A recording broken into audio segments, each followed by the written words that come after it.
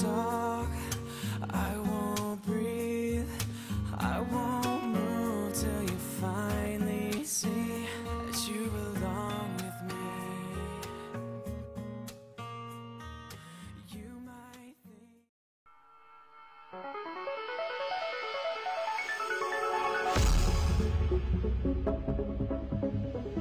think.